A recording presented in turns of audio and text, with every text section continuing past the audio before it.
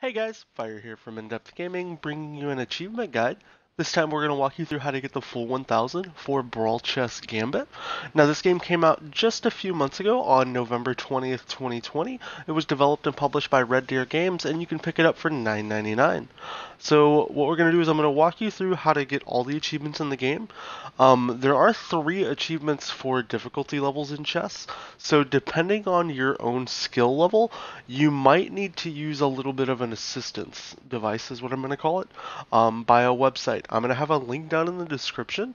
So there's achievements for beating the game on all three difficulty levels and understanding that everybody has their own skill level at chess. You'll come into this options menu and change the difficulty from 1 two, or three. I have a link down in the description called chessnextmove.com. It's where you can actually use um, a computer program that you select the pieces that move around on your screen, and then you match those movements to what happens on your game. This will help you knock out all three of those wins fairly easily. Um, you should knock out game difficulty one no problem, but if you're not a big chess player, that'll help you out quite a bit. So the first achievement we're going to dive into is winning a game of chess in 8 moves. Now the way you're going to want to do this is you're going to want to boot up a second controller. So once you have your two controllers, you're going to set the game up uh, using your controller. And then we're going to do a couple very specific moves. So the first one is you're going to play the white side. You're going to move the fifth pawn up two spaces. After that, you're going to move the fifth pawn on the black side down two spaces. After that move, you're going to move the um, knight up uh, just to the bottom right of the uh, first pawn you moved. And then you're going to move the fourth pawn on the black side down one. After that move, we're going to move the opposite knight on the bottom left up alongside. Once you've completed that move, you're going to move the black bishop all the way down just to where he's just above your right knight. After that move, you will move your right bishop just above your left knight. Once that move is completed, you're going to use the black bishop that you moved and take out your right white knight. And then you're going to move your white queen and take that bishop's location and take him. Now, then you're going to move the seventh pawn on the black side down two spaces. And then you're going to move the white bishop all the way up on the right side, taking the sixth pawn. You're then going to move the queen um, for the black side up one space. And then you will move your queen up um, between the two black pawns. After that move, you're going to move the black right knight to the right side. And then you're going to move the white knight up between the two black pawns on 4 and 5. And once you complete that move, that will give you checkmate in under 8 moves. Now the next um, ones we want to knock out is trying to promote a pawn. So we're also going to knock out another achievement at the same time, going to the options menu. If you haven't already, change your playstyle to classic. You do need to win a game with the classic style. Now, it doesn't really matter how you do this because you can knock it out in a variety of games. You will have to grind multiple games playing because um, you do need to get a total of 250 um, pieces taken. So what we're going to do now is we're just going to kind of control the board. Your goal here is going to be to get that left pawn all the way up, and we're just going to control that with both of our controllers, navigating him all the way up, but not taking um, our other pieces. So we'll clear the space here, and we'll just continue to walk him forward. And then you have to make moves, so clear out one pawn um, space, and then we're just going to move the king queen up, back and forth. Now once you move this pawn up, you'll get an achievement for promoting a pawn. It turns your pawn into a queen. Um, then we're just gonna move everybody around. Now you need to work on taking out 250 pieces. So to do this, we're simply just gonna have the queen constantly take pieces like it says. Um, we'll walk them around, eliminating all the pieces. Be careful not to trigger a checkmate because otherwise it'll end the game. Um, if you trap the king where he can't go, and it's just going to cause you to not be able to take more pieces than what you want in time. Um, and then you're just going to repeat this process um, until you have um, really every piece taken out. Um, you want to also finish in this run a game where there are only 50% of the pieces on the board available.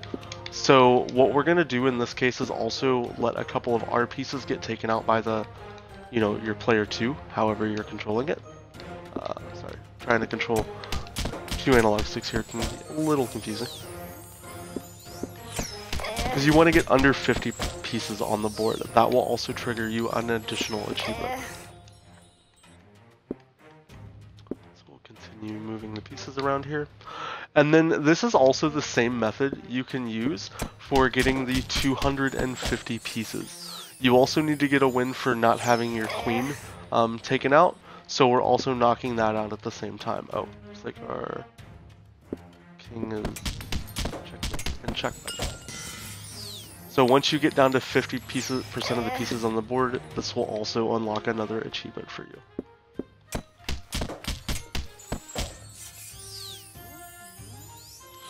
Um, it is also like very important though, don't lose your queen during any of this. If you do, um, it'll it won't continue and progress. You'll be able to do this plenty more times, but it'll cause you to have to reset at least this portion.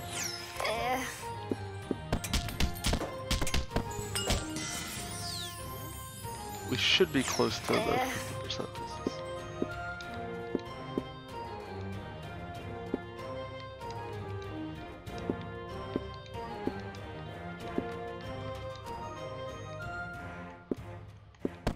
And then you're pretty much just going to rinse and repeat this process. Um, once you complete all these out, you'll get the full 1000 you know like i said you'll need to win all three of your difficulty modes. So don't be afraid to use the assisted site that i have linked in the description for helping you beat those harder difficulties. Um, outside of that if you guys have any questions want to know more on how to complete this game um, the only other real achievement you're going to need to try to complete in addition is getting a draw um, odds are you'll be able to complete this just traditionally playing the game but a draw is where um, you can't get a checkmate, but both kings can't really do anything. So the best way to do that is, if you just keep following along here, I'll show you how to complete out a draw.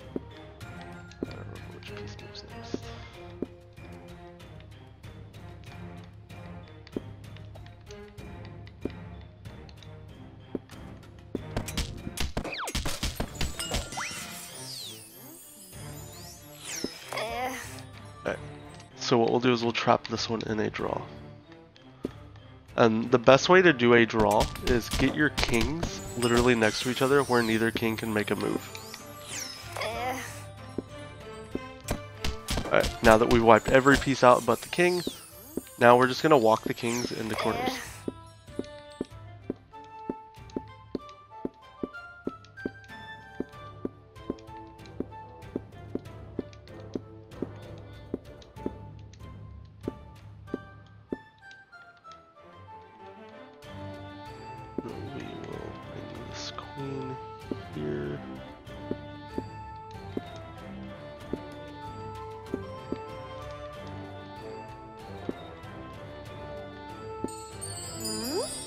And that'll trigger a draw. So if you just follow those moves, moving your queen and bishop around, you'll trigger your draw achievement.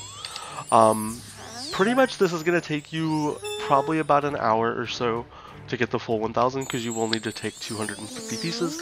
But if you follow the uh, the chess solver link to complete all three of the difficulty modes. That will really help make the game, you know, a lot easier for you.